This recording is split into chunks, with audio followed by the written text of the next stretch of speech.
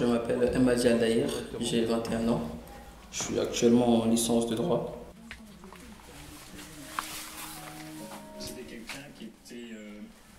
Et c'est ma première fois que je suis animateur euh, au sein du site euh, de la Courneuve Plage.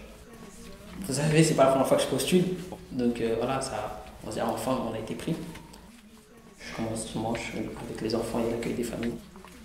Il y a un peu le, le trac, on va dire, parce qu'il y a, il y a un, comment dire, ce sentiment de vouloir bien faire et de ne pas se louper.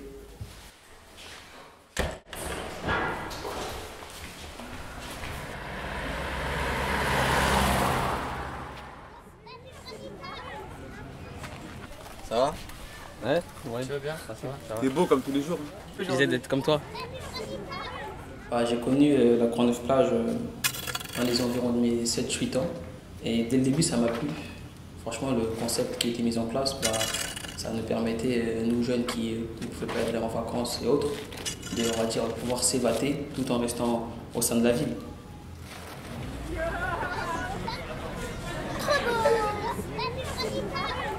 Quand on était petit, on n'avait pas de téléphone pour dire on se retrouve ici. euh, Non.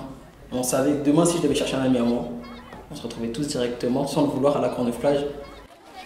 Est-ce que vous voyez tous le jeu du pêcheur? Non Parmi vous, il y aura des pêcheurs? Et il y aura aussi des poissons. Je vais. Ah, vais faire comme un poisson. Vous êtes prêts 1, 2, 3, 4, 5,